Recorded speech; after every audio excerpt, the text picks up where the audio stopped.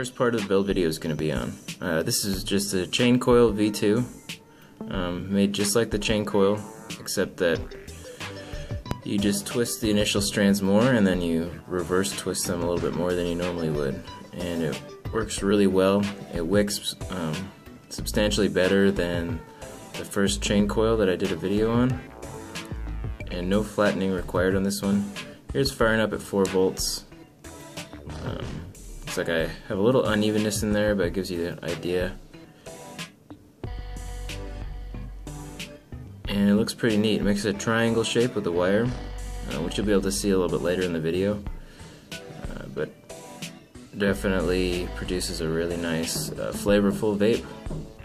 Let's go ahead and show the interlock coil next. This is the interlock coil. Um, it's the same wire that you just saw in the macro shot on that other coil. Uh, the difference being that this one is flattened with toothless pliers and a drill. And so um, this one's pretty worn out already. You can see the discoloration in the nichrome because uh, I've been using it for about two weeks solid here. Um, fires up pretty much in just the same way as the other one. Um, but the added flattening um, increases the surface area a little bit and makes those twists more compact. And I'm to let this cool down. I'm to put some juice on this just so you can see what it does with juice. It's pretty uh, impressive um, the way that it just holds onto the juice. Hold on a second. Okay, I got it cooled down. And I'm just to go ahead and put a little juice on here.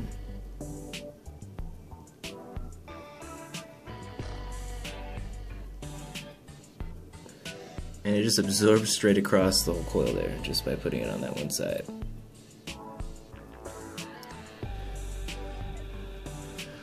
Soaks right in and it holds a lot.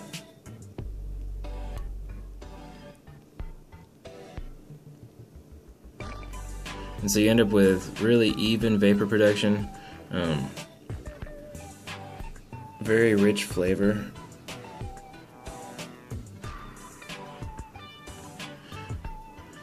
yeah, I mean that's a basic introduction. If you're wanting to do this interlock coil, uh, I would highly recommend it that you have an ultrasonic cleaner, and you'll see why later. If you don't have an ultrasonic cleaner, I recommend just not even uh, messing with this part of the build. You could just do chain coil V2. It's just as good of a vape, and it doesn't require all this extra machine. Okay guys, I have a build video today. It's uh, the first part is going to be chain coil V2, which is just like the chain coil I did before, but you just twist it up a lot more in the drill before you do the reverse twists. And the other coil I'm going to do is the interlock coil. Um, and on that one, I wouldn't recommend doing that unless you have like an ultrasonic cleaner to really get the wire thoroughly cleaned. Um, it's going to be quite a process, really heavily machined wire. And I personally don't feel comfortable vaping it without throwing it through an ultrasonic cleaner. So um, I'll go ahead and start out with the chain coil V2, um, which is neat wire. It turns, it becomes like a triangle shape when you twist it up to a certain point. And so I'm gonna fire both of these at 120 watts. Uh, dual coil, metering at like 0.16, uh, both of them. Um, put some juice on here. It's really, both of them really warm, flavorful vape. Uh, they keep up well with wicking. The reason with the chain coil, like the only issue I had with it, um, was that if you use too large a gauge of wire, it creates a big distance between the wick itself and the outside of the coil. So I feel like the outside of that coil is getting a little bit too hot. Um, like the e-liquid will break down once it gets up to a certain temperature into some other components which aren't necessarily healthy to be inhaling. So um, what I like about this Chain Coil V2 is that you can use a larger gauge as a wire, and it pulls it really compact together and creates these um, pretty interesting wicking effects, which keeps the entire coil saturated with juice while you're firing it up, which the wetter it is, the cooler it's going to be while you're vaping it. And in my opinion, uh, I haven't done any tests on it obviously, but in my opinion, the uh, has a better chance of keeping that temperature at safer levels. So this is um, not flattened or anything. This is the first one you saw in that macro shot at the beginning. And it's really warm, nice, flavorful vape.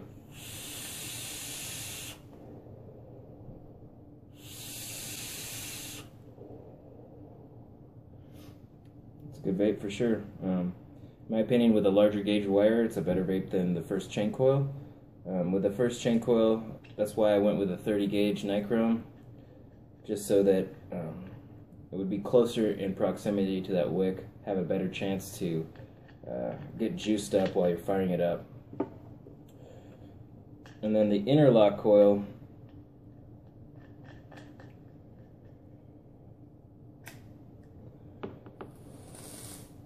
I notice a little bit more even vapor production off of it, and the flavor is slightly better on point. And I hate even saying that I like it better because I know the majority of people don't have uh, like ultrasonic jewelry cleaners at their disposal. But I bought one at Harbor Freight. It was like around $35, I think. Um, and it comes in handy for cleaning atomizers and stuff like that. So um, it's a nice little tool to have. It's not super expensive from Harbor Freight. I'm sure they have an online store if you don't have one locally. Um, I'll probably put a link for that down in the description. Uh, but this is that one also at 120 watts.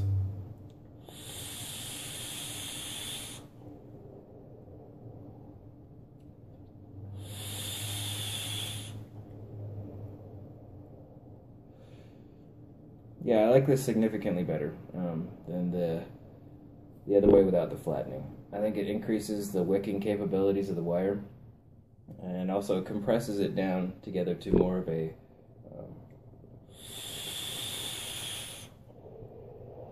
more of a compact shape. And I've been messing around with some other variations of this. I've seen already.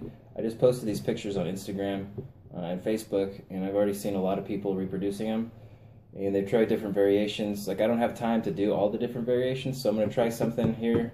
Um, I'm not sure how it's going to work out at the end but I'm going to put a hashtag down here across the bottom of the screen. Um, if you guys have chance or time, please try some different variations with multiple strands of twisted wire, different size twisted wires, add some ribbon wire in there, I don't know. And let's see if we can't figure out something, because this is a great vape just with the two strands of 26 gauge. But um, I think that there's something that can be done that's uh, going to be even better. So I don't have time to do it myself hopefully we can get some sort of group project going here and um, see what we can do. And yeah, I don't know if, how it's going to work out or how it's going to be possible to test it, but um, hopefully we can start getting some people beta testing some different concepts with this. And find a really good vape out of it. And especially with the, I bet there's a combination of wire for just the not flattened um, with the pliers, but just twist it up.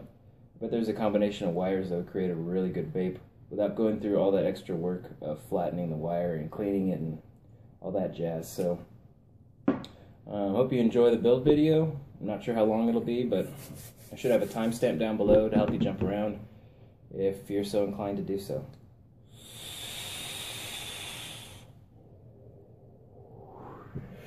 That's about it.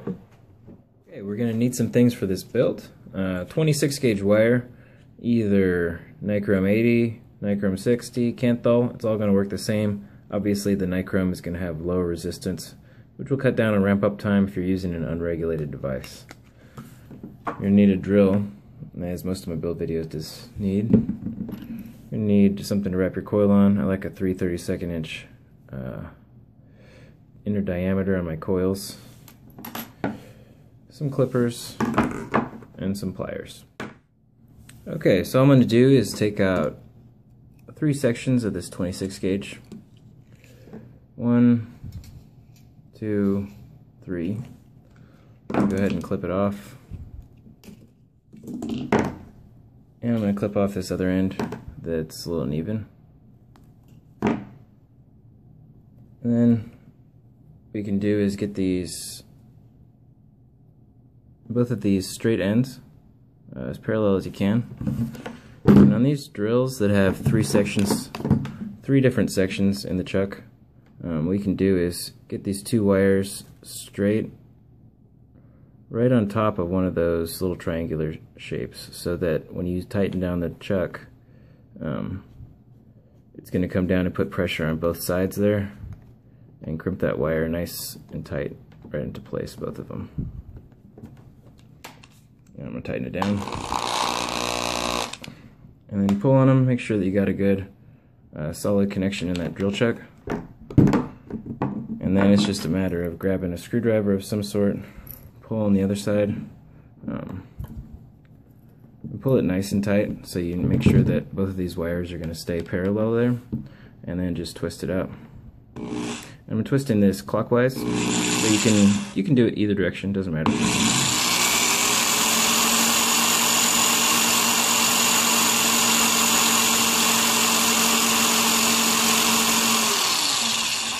And as you go, just try to keep this wire uh, straight as possible in that drill chuck. If you get an angle on it, it's more likely to break off prematurely. All I'm going to do here is allow this wire to contract as I twist it. And it's going to get to a certain point where it's not going to contract anymore. I'm going to keep going, and this should break off right there. Or the chuck of the drill, doesn't matter, but we'll see.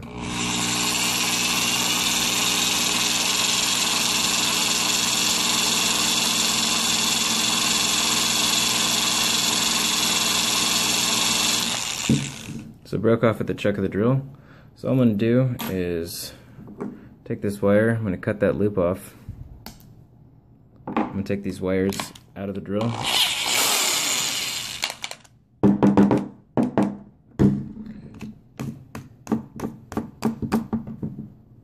And I'm going to stick back the part that I just cut off. So whichever part breaks off um, first, you want to flip it around and stick the opposite side into the drill. Uh, we're just going to get as tight of a twist as possible. Tighten it down nice and tight. And I'm going to twist it one more time. And this is just to ensure that we get a nice even twist. Wrong way.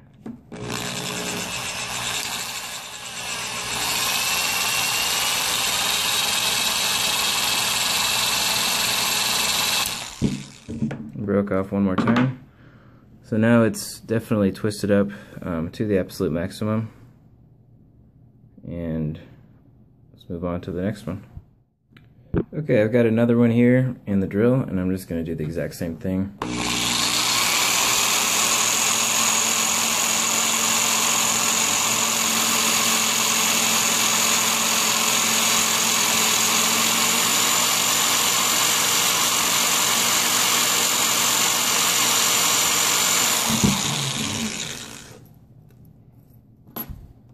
Clip it off,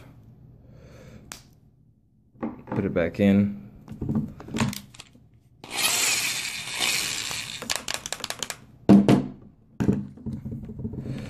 So on the wire, whichever side didn't break, um, or just flip it around and twist it up some more.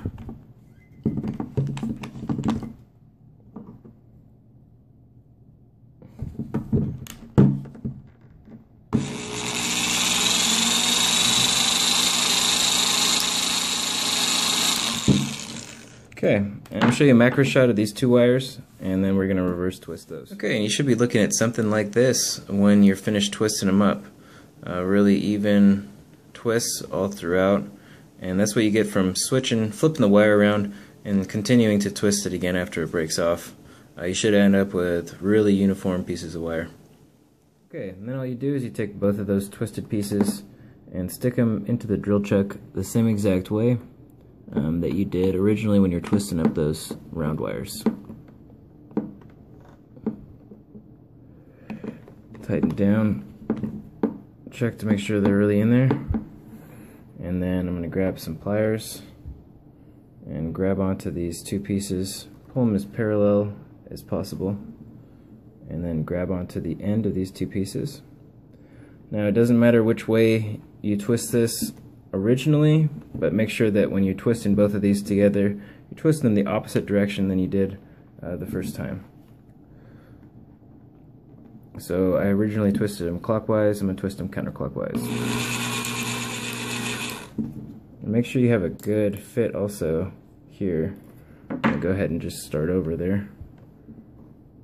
So what you can do is once you grab these with the pliers, you can make sure by pulling on them like that, that they're really in there. And then pull again, make sure that it's nice and parallel on both sides. And then twist it up.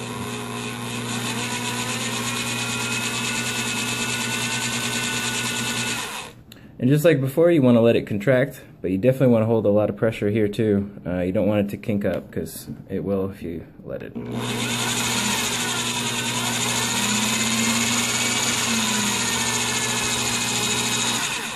You can already see it opening up right here, just like the chain coil.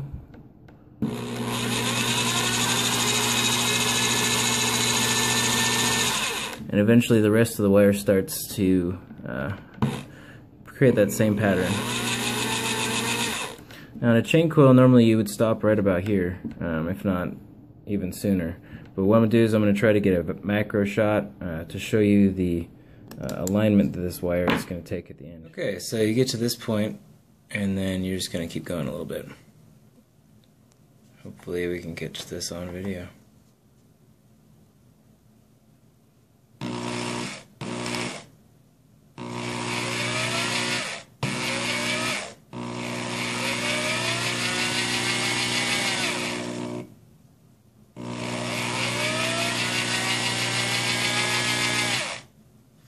So at this point it starts aligning up.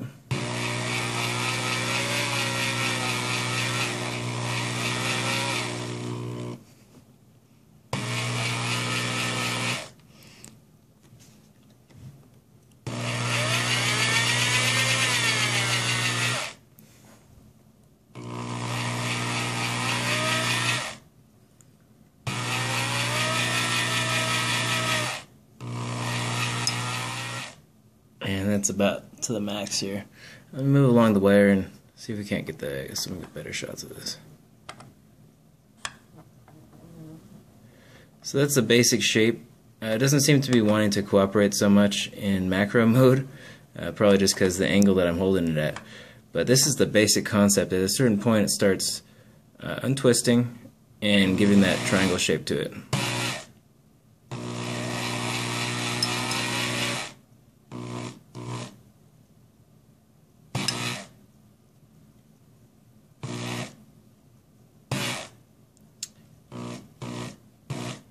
And there we go.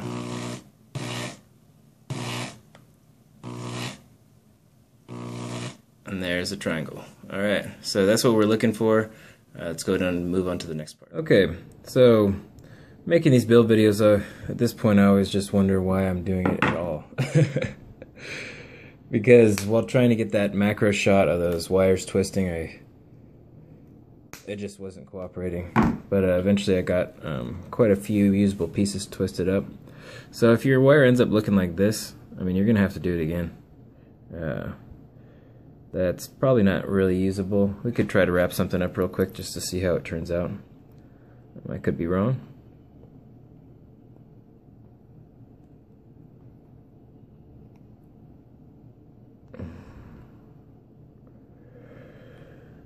Well, actually, that doesn't look too bad. You could probably still use it if you end up with a scribbly little piece of wire. Um, I'm not going to use that piece though. Or this one.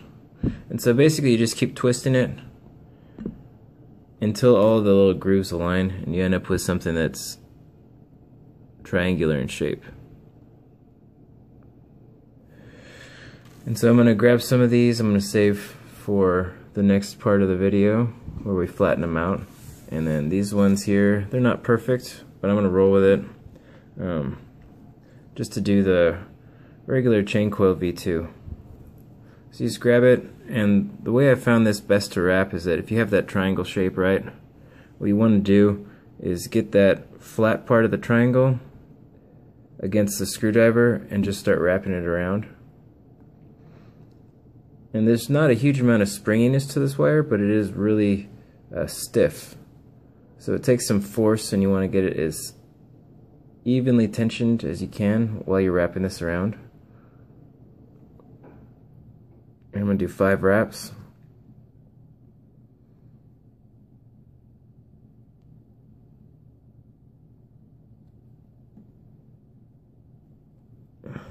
Alright. And the way it should look when you're finished is that all those little grooves um, are standing up on end.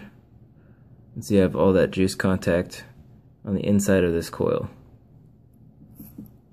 So I'm going to do that to the other piece of wire here, and then we'll go ahead and take a look at it. Okay, I'm going to be throwing this on the Dark Horse RDA by, I bought it from bvapehappy.com. and it has these really big post holes, which is super convenient for this build since these wires do get pretty thick. Um, you need about 2 millimeter post holes uh, in order to fit that in here. I just got this on an unregulated box mod that I got from Angel Cigs. It's the Angel Cigs uh, box.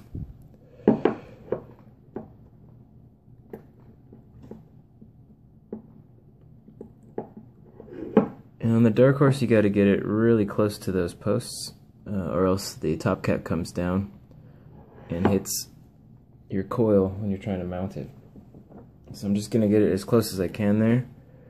And it's okay if it's touching the post at this point because I can adjust it after tightening it down.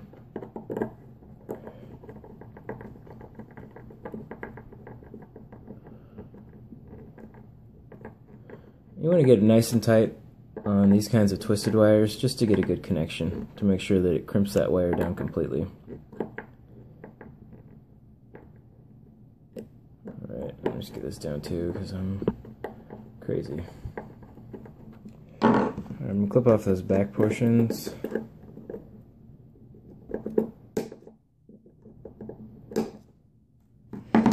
And kind of adjust this guy. It tightens down pretty nicely. Uh, it lines up pretty well.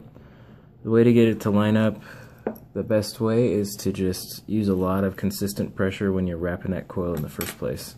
And when you dry, when you start firing this guy up, it's going to act like most twisted builds where it's shorting out within itself and stuff. So make sure you got really good batteries. Again, that's why I like to use these parallel mo box mods. Um, since it splits the amp drop between both batteries. And there we go. Looking a lot better.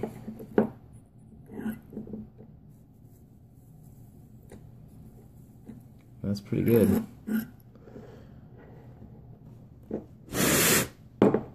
And I'm gonna double check, make sure that the top cap fits.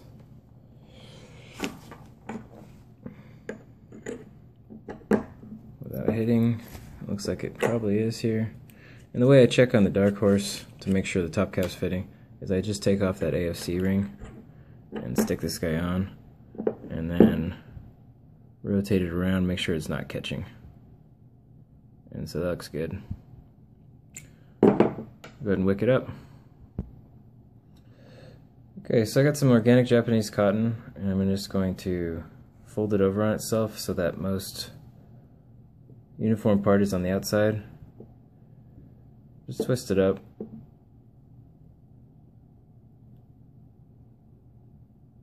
And slide it on through.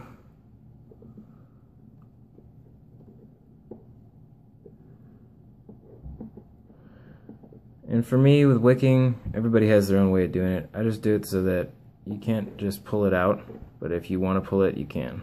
So that just ensures that it's making really good contact uh, with all the inside of that wick. I'm just going to cut this guy off here. And this one right about there.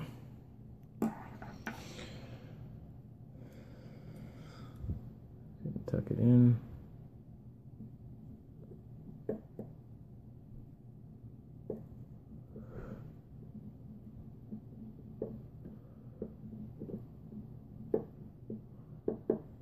Ohm it out and take a vape on it.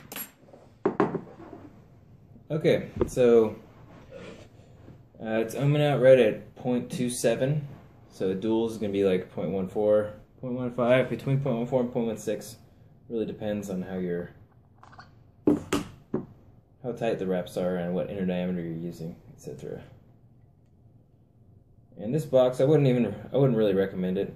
I got it on angelcigs.com. Um, if you do builds like above 0.3, I don't think it would cause an issue, but this button definitely gets hot with some of my builds. Um, but a fully mechanical box mount I couldn't really pass up. Alright, so 0.27 ohms. Got some fresh batteries in here. Do a little performance just before we go to the next part of the video. And again, um, you don't have an ultrasonic cleaner, I would just stop right here and not even go on to the next part just because I really don't feel you can get the wire clean enough um, to make it an okay vape. But yeah, this heats up right away. I mean, it's good vape.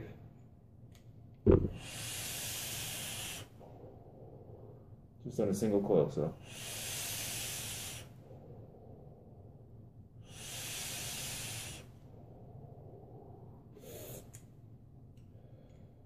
Alright.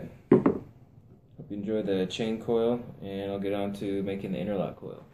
So to make the interlock wire, you just take your chain coil V2 right here, uh, this triangle shaped wire, and all we're going to do is just flatten that with toothless pliers, just like spiral wire. And this process takes a really long time, so um, I'm not going to show the entire process, I'll probably cut out a lot of the twisting, but all I do is I get some juice and I actually just uh, get this whole wire uh, covered in it really nicely. Just because you're going to be slipping around uh, that wire with the pliers, and then I actually lube the pliers up as well.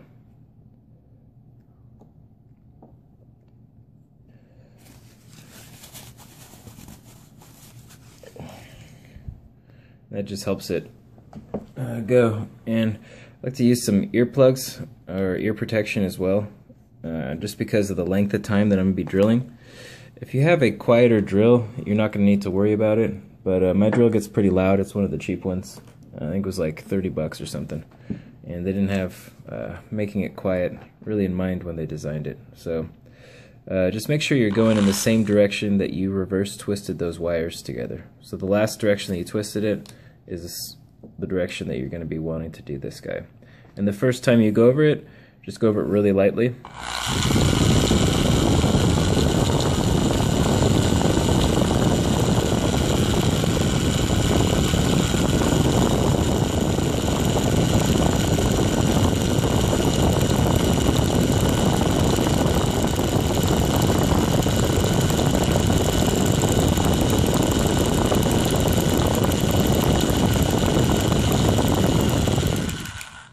And so if you had some unevenness in the wire initially, um, by going over it lightly a few times like this, it actually pulls a lot of that unevenness out, and you can usually get quite a few of the kinks out um, that you had in that original twist. So if you didn't have it perfect from the start, uh, just go ahead and just try smoothing it out with the pliers really gently to start, and you can usually get a lot of those out.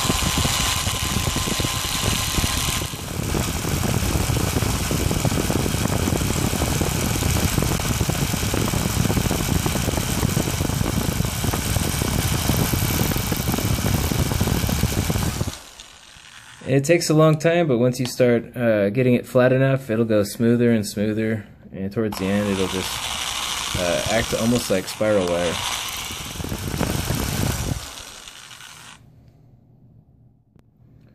And you will you'll get to a point eventually where this part of the wire uh, is flattened really well, but then the outside or the end of the wire isn't flattened as well. And the reason for that is that um, the farther away you get from the chuck of that drill, the more twists in this wire it's going to take to have enough tension to pull this through those pliers. So what you can do is, once you have this part and you think you've got it to a pretty much a nice flat, um, a nice flat, uh, whatever that word is, state or whatever, uh, you can flip it around in the drill and that way you have the increased tension um, over on the other end of the wire where it needs to be twisted up more. And just keep going.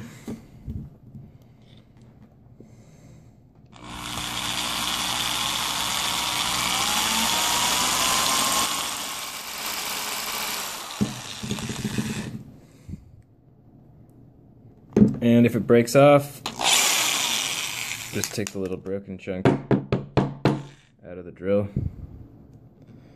and keep going. The entire process should take at least 20 minutes, so.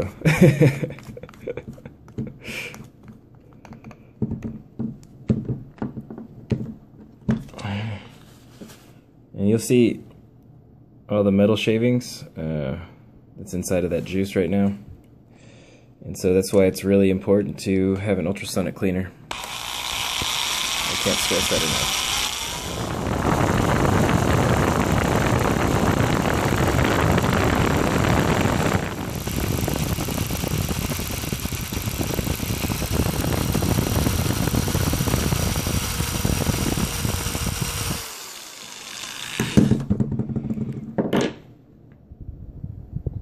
And that looks like it's flat enough. Okay. And this is the interlock wire finished. And all I did was I went and I washed it with soap and water. And in some of these spots you'll be able to see why you're going to need an ultrasonic cleaner. Because there's still those little in between those grooves you'll see those little uneven portions of metal um, and so I'm sure there's little specks of metal hiding in those uh, that need to be shaken out um, with an ultrasonic cleaner so if you insist on doing it without one I mean do it at your own risk but uh, I'm not comfortable with it personally so but yeah, this is pretty much what interlock wires uh, going to be looking like. And the reason I went with interlock wires just because uh, each little section of this looks like a separate uh, piece of stuff like interlocked together. Like they look like separate pieces all stuck together. Um, and it creates these really cool juice channels down along the inside of that wire and I've been really impressed with the performance so far. So uh, let's coil it up, ohm it out, and vape it a little bit. After finishing the flattening process and washing it once uh, with dish soap and water uh, real thoroughly, what I'll then do is go ahead and wrap the coil up. And it doesn't really matter which direction you start this, um, because as you wrap it, it's going to get pulled into shape, because you're going to have to use a lot of force since this wire is so stiff. Um, the way I like to start it is with that, if you can imagine that triangle shape, um, with the pointy side down towards the screwdriver is the way that I like to get it started. Just have a lot of force as you turn it around.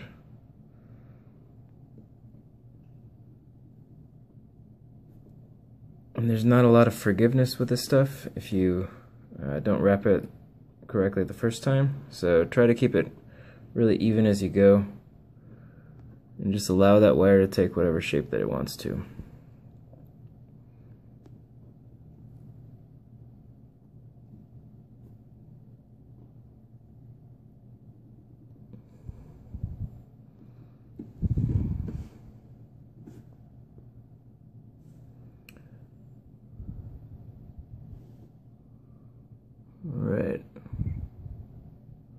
Put six reps on there. You can see there's an unevenness here. So I'm going to see if I can't put one more wrap on this other side. If there's enough room for it.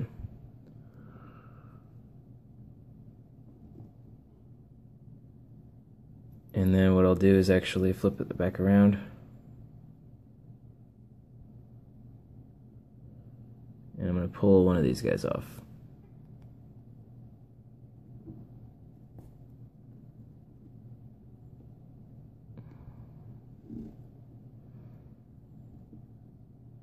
One, two, three, four, five, six. Just need to make it a five wrap, so I'm pull one more off.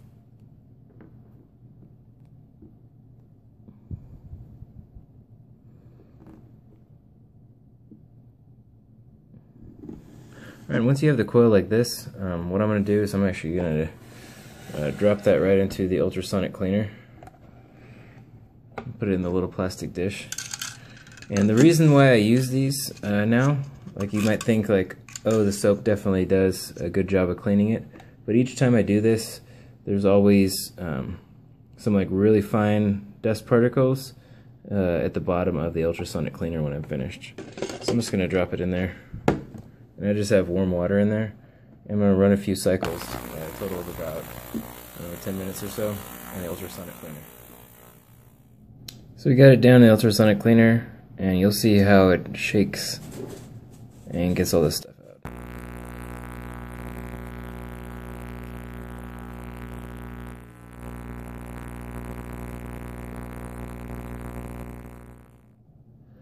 Alright, and I just want to show you some of the uh, particles that I was talking about. Um, it's kind of hard to see, but right here there's a collection of particles. You saw how they dispersed there? Over here there's another collection of particles. Um, so there's definitely stuff coming off of this coil. Uh, after I had already washed it with soap and water for pretty thoroughly there. Um, and so that's what I'm talking about. I mean, each everybody has their own comfort level as to what they're willing to vape, but I think it's an unnecessary uh, risk with this build. Um, I'll kind of go into more detail here. Went ahead and gutted the other build out of the Dark Horse, and we're just going to mount it in there. Stick that part through.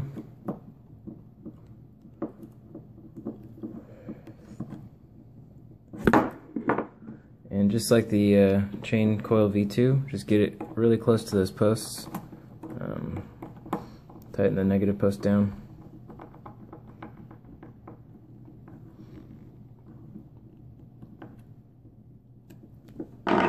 To see how it's lining up.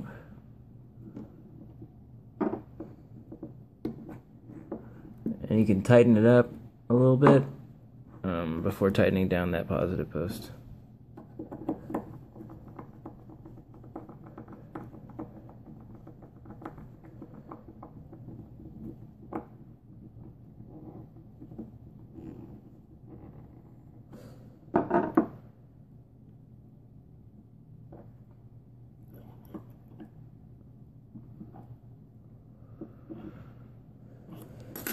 Go ahead and clip this back part off.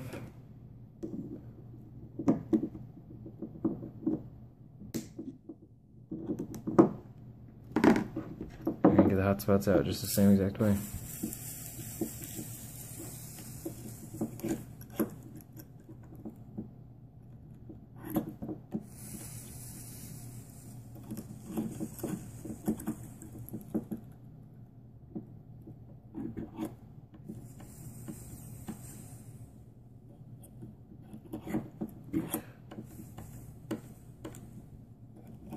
You just want to pulse it real quickly. If you just hold it down, it'll melt down and all that work will just disappear. Alright. And I'm just going to pinch this together up top a little bit.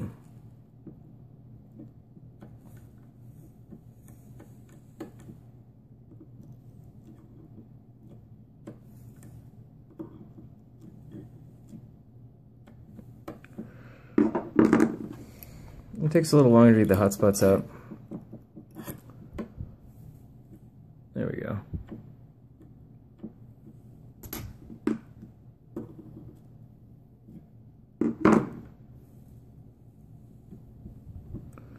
Looking good. Let this cool down and I'll wick it up.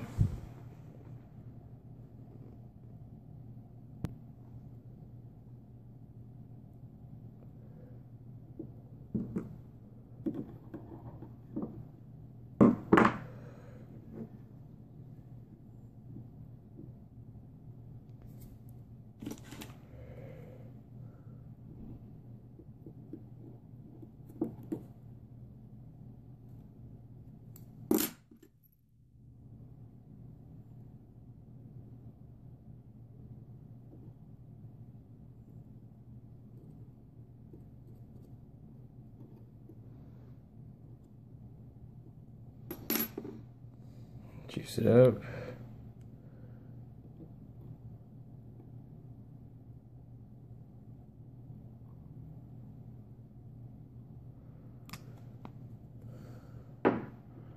See a little performance.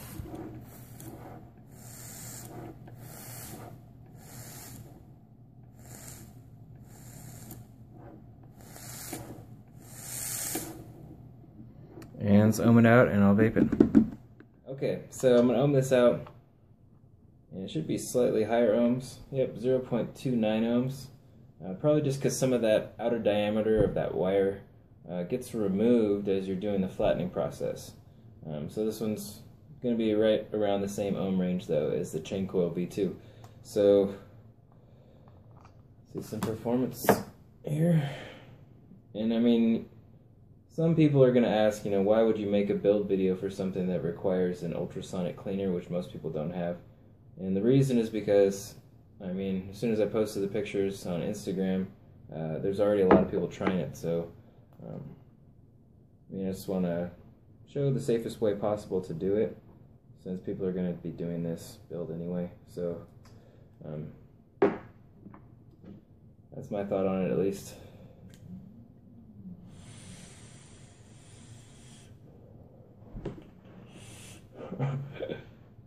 Got me.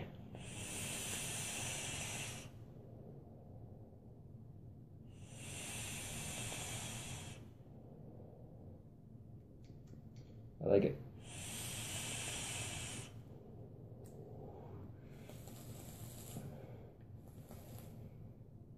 It's a nice little coil. So that's about it.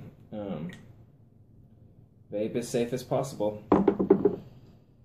And then also, if someone's still watching, uh, do the uh, see if you can do that hashtag um, with some different combinations of smaller gauges of wire or something.